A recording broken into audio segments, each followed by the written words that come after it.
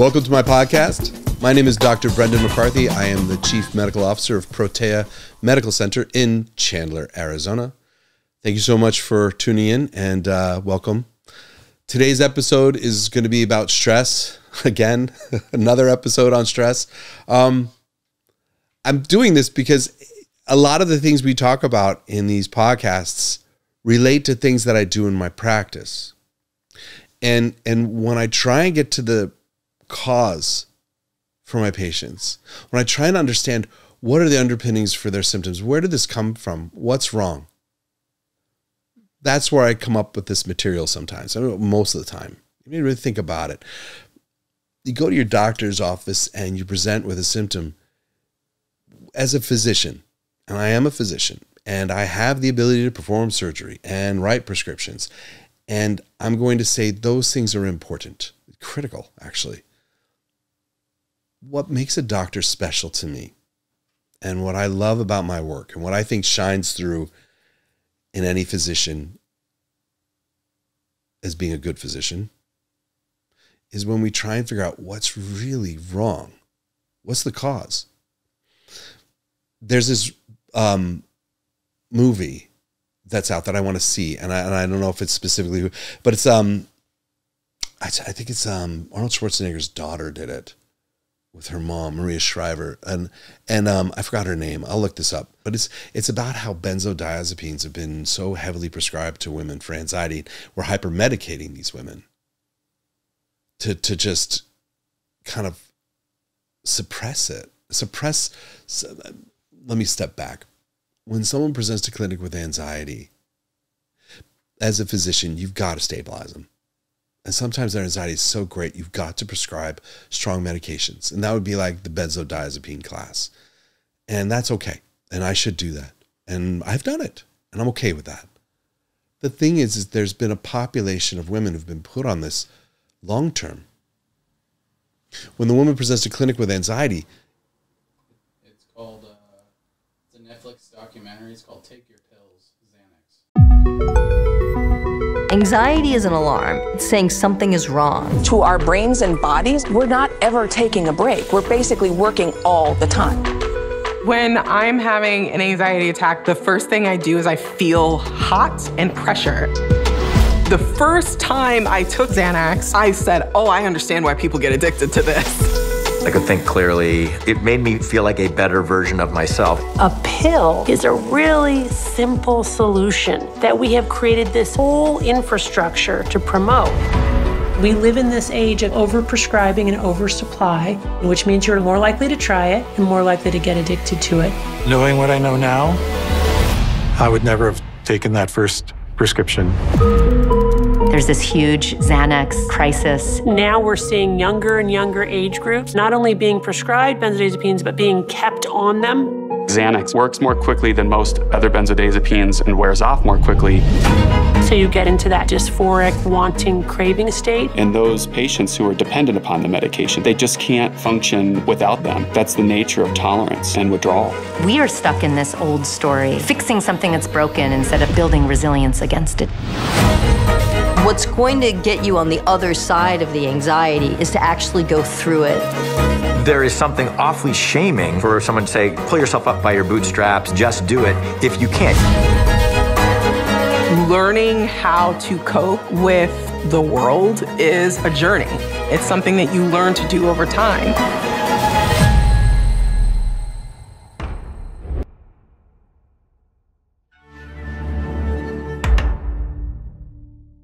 Yeah, take your pills, Xanax.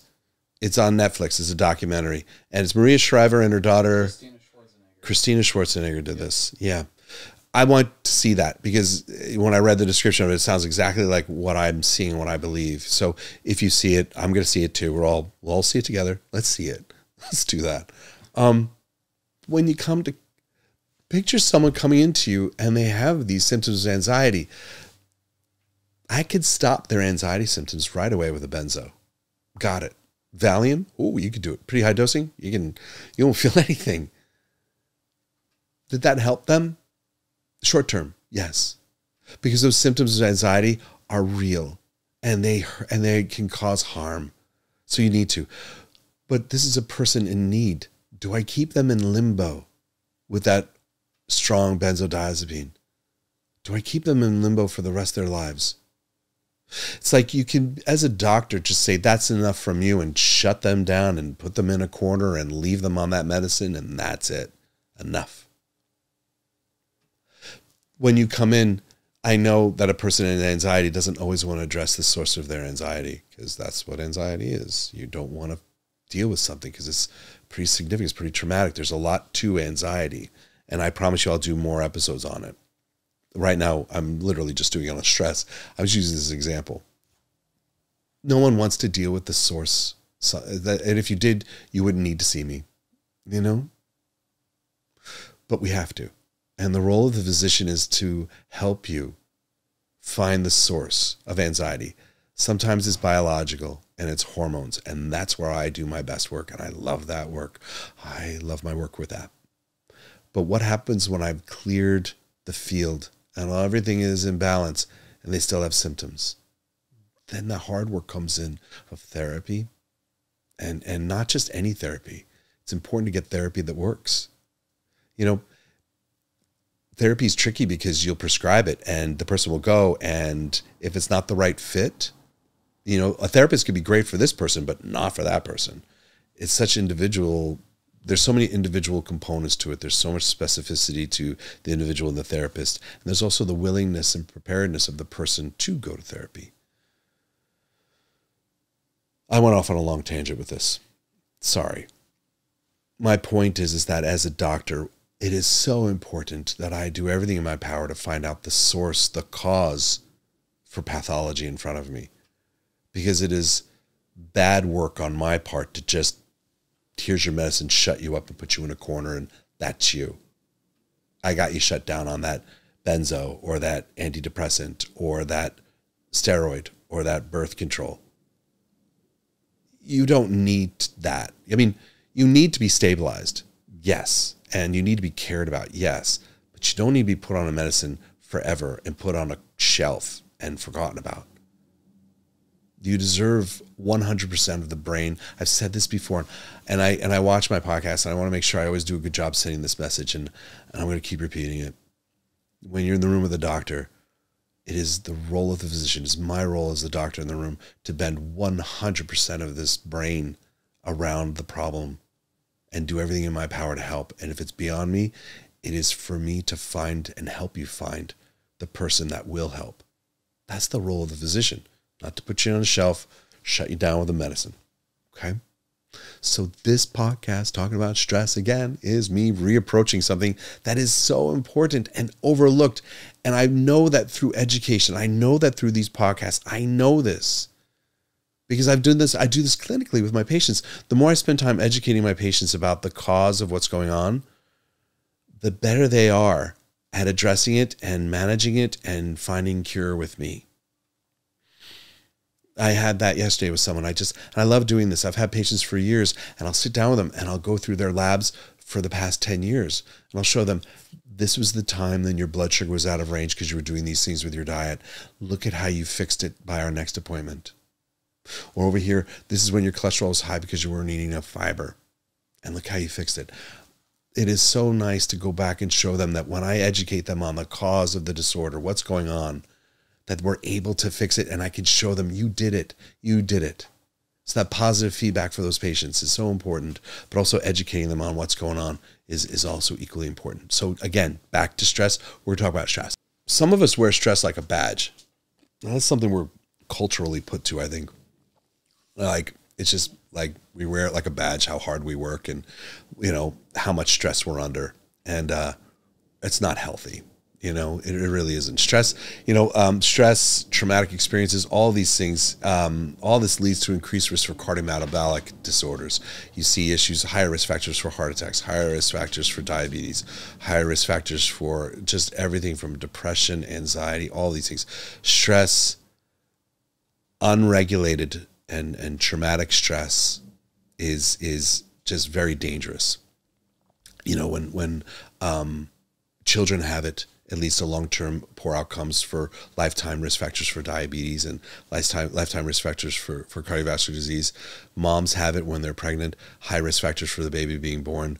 Uh, um, with uh, blood sugar dysregulation, so the baby will be born a little bit bigger than they should be because the mom had blood blood sugar dysregulation during pregnancy due to stress. The baby has a higher long term risk factor for developing diabetes earlier in life. These are real things. And again, this will be in the citations that'll be listed in the description of the video. And then what I said earlier about stress being like, you know, the toxic and, you know, poor stress, bad stress, dysregulated stress, there's a flip side to this. You know, stress is not always bad. Stress is good. When you go to the gym to work out, that's stressing your body. And you want to stress your body because by stressing your body, you train it to rebuild to be stronger. So when you stress the muscle from lifting a weight over and over again, and then you give it a day of rest, rest, that's when the muscle comes back stronger. When you stress your mind to learn something new, you know, and I've said this before in podcasts. I said I'm repeating. I know I'm repeating myself, but some things you need to repeat. So, so by relearning things, by learning things, excuse me, uh, uh, that is going to that stress of learning something, studying something, that stress on the brain forces your brain to recall it and have better recall. But that overall stress on the brain, when you have the the learning and then the rest, the learning, then the rest, your brain gets stronger and better. You know, this is one of the interesting things I, I mentioned in a previous podcast about uh, how to prevent Alzheimer's. One of the ways of preventing cognitive decline is with thyroid. Um, I mentioned there's a book about the end of Alzheimer's. In there, he talks a lot about learning new skills, about getting your brain to learn new things. And the idea is that that stress on you from learning something like learning a musical instrument or learning a new language, these stressors on the brain with, with recovery help the brain work better. And that's been shown to arrest the progression of Alzheimer's. And that's true. And there's plenty of research on that. But again, I keep saying the stress, but you remember, hear me? I keep talking about recovery. If you have unregulated stress, meaning you're just stressed all the time, you're living in a home that's toxic with violence or anger, um, you're living in poverty, you're living in around pollution, people live next to highways, poor air quality, um, poor water quality, all these things are stressors. You know, like I said, it doesn't have to be just emotional stress of being, you know, in a violent environment or working with with a toxic workplace where you're everyone's yelling all the time and there's no security. You know, it could be, you know, water quality, it could be air quality. You know, there's gender discrimination, there's race discrimination. These things are also constant stressors, nonstop, dysregulated, and there's an impact. It's when you get rest from these stressors that your body's able to compensate for it and grow from it there's three ways of looking at stress. There's a positive stress. We have the stressor, then you have the recovery, and you have the personal growth. Okay, that's balanced. That's again like going to the gym. You work out, you know, Monday, Wednesday, Friday, and then Tuesday, Thursday, Saturday, and Sunday, you're recovering and let your body get stronger from it. It's like you're working Monday through Friday, eight hours a day, but you have your lunch and you have your breaks because those things help. And then you have your weekend off. These are the things that help that stress become positive. It's when you're working 60 hours a week without taking a lunch. It's when you're exercising all the time, constantly, that stress becomes out of balance. So the more your stress increases and the less you're able to compensate for it with rest and recovery and self-care, the more it inches over here to becoming imbalanced. So you have, you know, the positive stress, you have tolerable stress where you're like, okay, I have a big project coming up, so I'm working a little bit more than normal, or you know, there's a lifestyle change or something's happening. So okay, we're a little bit out of balance here, but you can compensate for it a little bit, so it's not too bad. You can do it for a little while, and then there's the really bad, the toxic stress, where it's just so far over. Your stress is so high, and your ability to compensate for it is so low. It's just chronic. That's when there's those health problems that creep in. Both acute and chronic stress result in a dysregulation of something called the diurnal rhythm of your cortisol secretion. And when I posted this earlier about stress on a previous podcast, there's several of you made comments on the Instagram page regarding, you know, where should cortisol be and why is this that. So I made this video to that specifically and how you could treat this. It's so hard to get this treated in a clinic. It's hard to find a physician to run these labs. There are ways I'm going to talk about today how to address that. But this came out of that video and out of your comments on Instagram. I wanted you to know that. I read them. I still read them. I read them. And thank you. Thank you for taking the time to comment on these things. It matters to me and I do read it. So your cortisol starts high in the morning when you wake up. You have the initial spike that happens when you first wake up. That's the awakening surge of cortisol. Uh, then it drops more slowly and then, you know, reaches its low level right by bedtime. So you should have that high and then that drop off in the evening. We mentioned this in the previous podcast. There's a high, high, high and low to it. That's a good rhythm. We want that rhythm. Stress dysregulates it and moves it around a little bit. Originally, when they did research with this, and this is important, originally, you know, up until the 1990s, they thought that that rhythm was a nuisance just an irregularity that was un, un, unimportant and, and it didn't matter. And why I'm saying that is because now when you go to your doctors and they say it doesn't matter, cortisol rhythm doesn't matter, the, the, the morning cortisol is everything, or you just run a cortisol any time of day, anything like that, they're coming from that mindset and they haven't really been updated since the 1990s, early 1990s, like 1980 to 1992, I think was when they started realizing there's more to it. You need to have that rhythm. Okay. The, it's called the this is important if you want to research yourself. And I know there's a few doctors that watch this. It's what I'm going to talk more about today. That's the important part of this. is called the diurnal cortisol slope. The diurnal cortisol slope. And that's the high to low drop, that rhythm that goes throughout the day. Okay. That's the slope that's indicating how healthy the patient is and how well they're adapting to stress. If it flattens because they're under chronic stress and their cortisol is going to be pretty much the same throughout the day or only a little bit higher in the morning and not that low in the at evening, or if it's all of it low all day long like that, which is the worst, that flattened slope is where we have the health crisis. Okay. So when I run cortisol on my patients in the morning, I'm getting the first image about how much cortisol they're putting out. That gives me a first sight of this. And if it looks irregular, I will run something called cortisol times four. And I use that through a lab, uh, just a basic lab. We use LabCorp for that one and and we run their cortisol four times during the day and it's a saliva test and it's valid and it's covered by insurance you know i think Sonora Quest does it too but i, I use labcorp that's my favorite and insurance covers it so again it's not boutique labs. And there are boutique labs that offer this out there. And, and they're not millions of dollars. I think it's like a hundred dollars maybe. That's what i charge for it. So i don't know if it's more than that at other places. But uh, you shouldn't expect to spend that much money on it if you're paying out of pocket. But if you're doing it yourself, or you know, if you're doing it through your doctors and they're doing it through insurance, that is one of the ones that's covered. And then we do your cortisol times four. So we test in the morning, we test it a little bit later, in mid morning, afternoon, and then evening. We should see that rhythm with it. And if we don't see the rhythm, we know there's a flattening of the slope. We need to understand where their stress is happening. We want to help diagnose that because when you have the flatter slope, the flatter that slope is, the more you're going to have uh, um, weaker immune function. You're going to have more body fat. You're going to have less muscle mass, uh, poor memory. You're going to see more depression and more fatigue with those people with that flattened slope. Okay? There's a lot of nerdy stuff in here. I promise you it's going to get more exciting shortly. Because that's the thing. How is this helpful to you? Think about this. You're, I, hmm, I just did like this whole description, trying to make this fit into a patient's mindset and and it would be terrible terrible for me to do that without giving you a way to treat it or manage it. Many of you don't have uh, medical supervision that will help you do this. I know that. Some of you do, so it's good. And you want to say, okay, you go to your doctor. I'm under stress. I want you to do my cortisol testing, and I would like you to prefer you to test my cortisol flow, like throughout the day, the cortisol times four. You want that rhythm. You want to have that done. Those of you who can't do that, you know, what do you do? How can you manage that? You know, there are ways of doing that. You know, um, something called heart rate variability. Okay. And a lot of you have access to it without even knowing it. Anybody who has an Apple Watch or an Oura Ring or uh, the Whoop bracelets, you know, or even your phone can have an app called HRV testing. And what it is, we're testing heart rate variability. And so, step back. What is stress? How does that happen? When you look at something that's stressful, you perceive a stressor in front of you, like you have a deadline happening or you have a something happening at work or or anything like that that could cause stress. You look at the stressor, your brain interprets it as a stressor. Your your amygdala says this is something serious, and you're going to release more epinephrine, norepinephrine. You're going to release more catecholamines, right? We talked about that previously about depression. So that's the thing we're talking about. So catecholamine levels start to rise up. When the catecholamine levels start to come up, adrenaline starts to come up, it sends a signal to your adrenal gland to make more cortisol. So your adrenal gland starts surging with cortisol, trying to make more, make more, make more. So that's that initial response to stress. And over time, your your your adrenals, your excuse me, your, your catecholamines, epinephrine, norepinephrine, keep pushing on the adrenal gland. It does its best, but over time it just becomes depleted. It becomes weaker and weaker and weaker. So you start having lower and lower cortisol.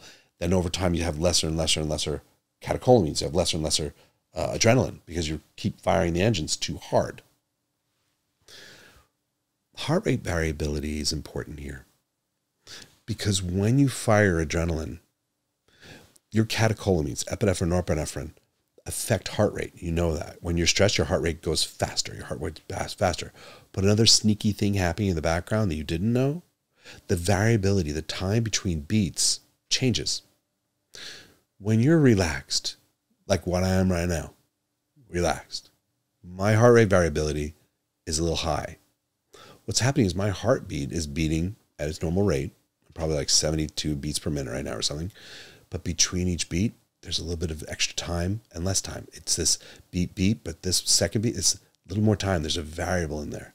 The more variability, the more relaxed I am. The less adrenaline through my body right now, the more at rest I am. The minute that I perceive something, like my dog chewing on my shoe because he's teething. my heart variability is going to go a little different. It's going to become less. What happens is my adrenaline starts firing, my heart rate speeds up, but it becomes more rigid the timing between beats. So now my heart rate variability is going to be less and I'm going to be under stress. My watch measures that. Apple Watch measures it. Whoop, all these tools, Oura Ring, all these different tools you can have. Or just take your finger and put it on your phone and you put over the, the, the, the camera and there's an app you hold it there and it'll measure your heart rate variability that way too. The one you wear that's on constant is a little bit better. How this helps you. Then I hate I when I tell a patient I want them to start monitoring their heart rate variability, I was like, okay, use your watch or your your whatever. And sometimes people buy an Oura ring, you know, and uh, uh, I feel like I'm plugging product again. They should send me like a flowers or something or gift basket of fruit. So so when you start monitoring it, it's going to be unnerving. You're going to realize how much of your day you spend in stress. And then you realize when you sleep, you're not getting nearly as restorative sleep as you should be getting. And it can be such an off-putting thing. There have been times I've taken my watch off and just I didn't throw it, but I'm like, I'm not wearing this. Because I, I don't want to know how bad I'm being to my body right now because of the stress I'm experiencing in life. Because I'm human like you too. You know, I have a lot of stress in my life too. So how this is helpful is I can monitor my catecholamine release, my adrenaline release, and the impact it's having on my heart rate. And I could see whether I'm giving myself enough recovery time relative to my stressors. If you're spending too much of your day in stress, so say your stress score is like, and every different app uh, watch, Apple Watch, or they all have a different method of of giving you if you're too high or no, the different scoring system you have fine. Let's say zero to 100% stress, okay?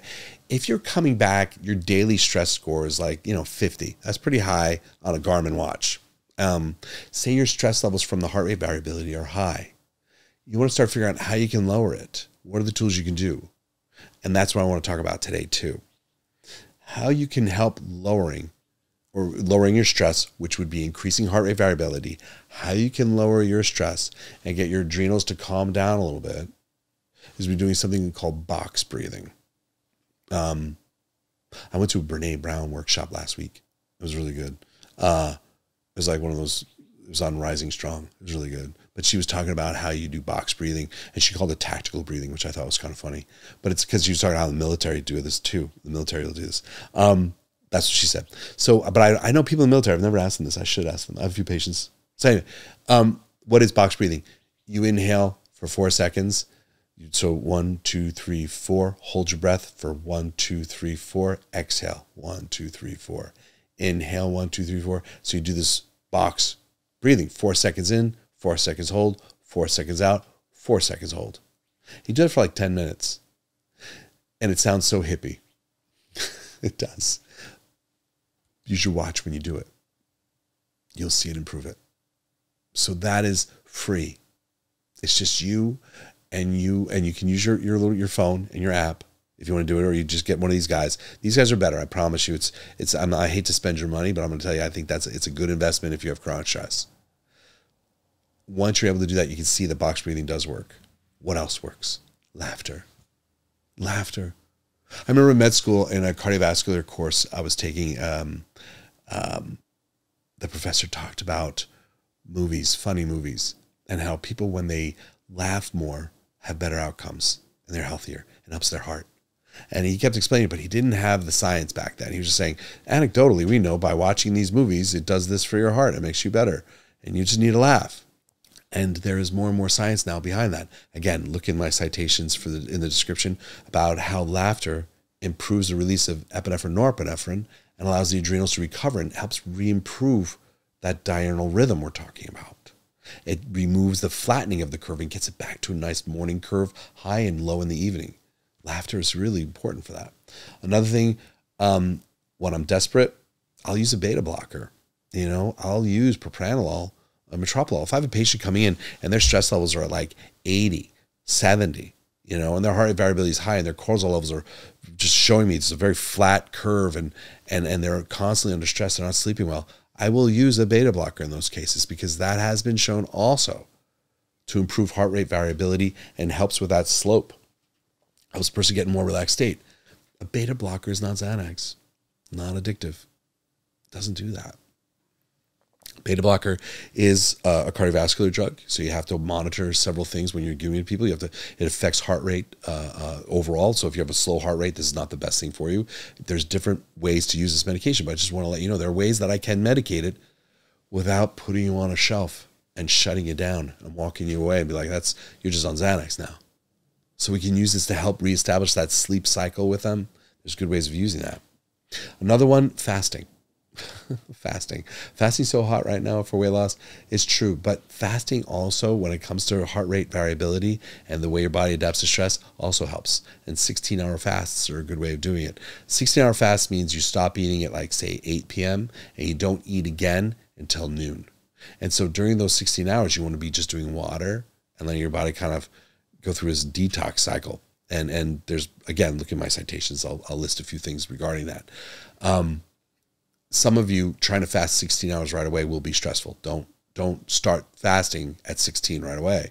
First measure how long you can fast, and then slowly increase it by a half hour every few days until you get a good 16 hour fast in without it stressing you out. You can train your body to fast 16 hours. You can do it. It takes time. If you have headaches, you have dysglycemia, lightheadedness, dial it back until your body can tolerate it, then slowly increase it again. If it still doesn't do it, come see me, come see me, go see a physician, someone, because there's something maybe going on with that insulin balance with you. But still, fasting, inexpensive, just like box breathing, just like laughter. And beta blockers are also remarkably inexpensive. Okay. So these are not million dollar therapies we're talking about here. What also doesn't help with stress? You know, what what can you do that would be harmful? A lot of people think that drinking alcohol is great for stress. And it feels good to drink alcohol. I know that. You know, it's just when people drink alcohol, I know what they're doing it for. Alcohol will bind to the GABA receptor, similar to Xanax. Okay. It binds that receptor. That's why when you drink, you don't feel that anxious. It's, it's one of the ways it, it's people like to drink is to relieve their anxiety. Um, the problem with alcohol, though, is that long term it is not good for the heart. It's not good for catecholamines. It's not good for stress. Long term, you're going to see your heart not responding well to it with heart rate variability. You're going to see more adrenaline dysregulation. The rhythm will be flattened. And again, that's why people who drink alcohol, one of the contributing factors, one of the contributing factors to, to heart disease is drinking alcohol you always say it's sort of weird about alcohol with stress and, and heart disease. They say, oh, a glass of wine is good for your heart. What they're talking about there is not let's let's take wine away for a minute. What they're talking about there is that anything that can help re-regulate your stress a little bit and modulate your stress, like in this case, maybe just how alcohol bind to that GABA receptor and reduce your stress a little bit, reduce the adrenaline, as I mentioned earlier, and have that impact your cortisol and have everything calm down. Anything that'll do that a little bit in the beginning is good.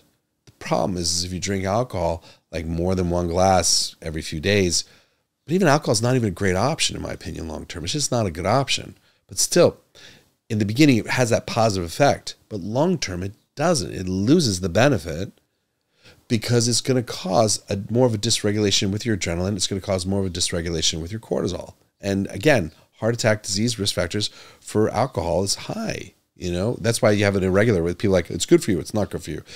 It has a mixed thing. It's only good for you in a very small component of it in the very beginning, but long term, it definitely does not. Another thing, video games. I'm going to talk about it because it doesn't get talked about enough. And we always talk about it in the corner. You know, so many people game.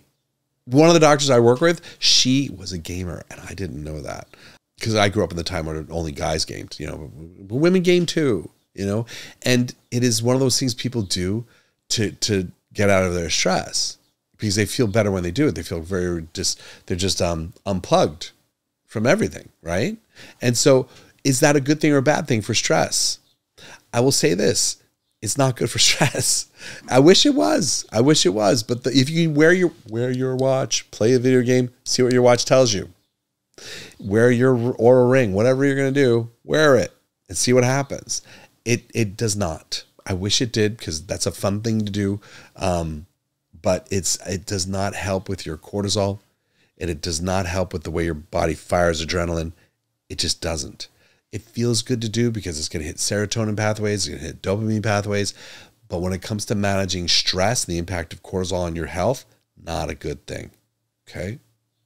Um, TV, binging TV, glow and flow, relaxing on TV, that also is tricky because if you're watching a comedy, awesome. Watching a crime documentary or crime shows, not good. Watching politics is definitely not good. Don't watch politics. Don't watch news. Just just stop watching news because that is so not good for you. Um, and how you can verify? Watch your heart rate monitor. Look at the heart rate variability. The time between beats will tell you the truth. Not don't just listen to me. never just listen to me ever. Okay? But think about what I say and maybe look into it yourself and see what you think, you know? One more thing I want to bring up that's kind of big. So I'm in Arizona, and I know there's a lot of states in the country in America that had this, and I don't know what it's like in other countries. Cannabis, cannabis is becoming really big here in the states um, because it's being legalized in several different um, areas. And the thing about cannabis is, I have mixed feelings about it. I have very mixed feelings about it. I like that over like um, some some things we use for sleep for people are not good at all. Zolpidem, uh, Ambien, is a dangerous medication to use, and your doctor should use it um, carefully. And uh, you know the risks of using long term um, medications such as such as you know Ambien and Zolpidem rather is that it will increase risk for Alzheimer's, dementia, cognitive decline. You're not getting true restorative sleep. There's a lot of negative things about it. So when a doctor in Arizona prescribes medical marijuana for sleep, that is a much better option and we're good with that. The thing is, is when the person says, you know, I'm just going to come home, I have a stressful day, I'm just going to, you know, get high, it feels like alcohol. It will feel good. You'll be happy you did it for that sense, maybe you will get the dopamine and maybe some serotonin there. I don't know. But when it comes to heart rate variability, it's dicey. The research is still limited on it, but what I'm seeing in the research is that it's not great for stress when it comes to cortisol and uh, um, the way you fire adrenaline. So, again, if you are in an area where marijuana is legal and you want to use that for stress release, I would advise you you know, for balancing cortisol and, and, managing stress like that, I'd advise you to use your watch or your ring or your phone, whatever it is, and check out your heart rate variability because that will let you know for sure whether it's actually helping you restore and get well. The key takeaways here is this stress, when it's unregulated and chronic without rest, is going to impact your health negatively. It primarily heart issues uh, and and and diabetes and and you know anxiety and weight gain, and all these things. Stress that's unregulated long term, not good for you. Okay? Getting into a doctor's office where they're going to test your cortisol throughout the day and see what's going on with you and really sit down and work it through with you, not easy. Not easy. Um, how can you take it in your own hands? Using some heart rate variability, monitor your levels of stress, see where your score is. Again, uh, on my Garmin watch, they do zero to 100 if I see my daily stress seeing high, I want to get it lower. So I want to do my best to lower it and and and look it throughout my day and see where I can improve it. And things like box breathing, things like watching comedies, things like uh, um, fasting. These are helpful things. And exercise too. I forgot to bring up exercise. Exercise is also very helpful. Proof is in the testing and in the improvement of your your stress metrics on this. And if you're using your physician with this, you'll see your labs improve as well. I hope this is helpful. This is important to me to do this and do it well. So um, if you have any comments or questions or things I didn't go over with this, please, you know, comment below because this matters to me. You know, it's uh, I'm not doing this because I just want to put out material. I, I want to be of service. It is so important to me that when I do this, it's right because it, it doesn't mean anything for me to say these things and do this podcast if I'm not being helpful. Seriously, what's the point of doing this if I'm not being helpful? So if this was good or not good, let me know. If there's something that didn't make sense, let me know. I want it to make sense. I want it to be clear. I want it to be helpful. So thank you for tuning in and please like, share, and subscribe. And I will see you next time.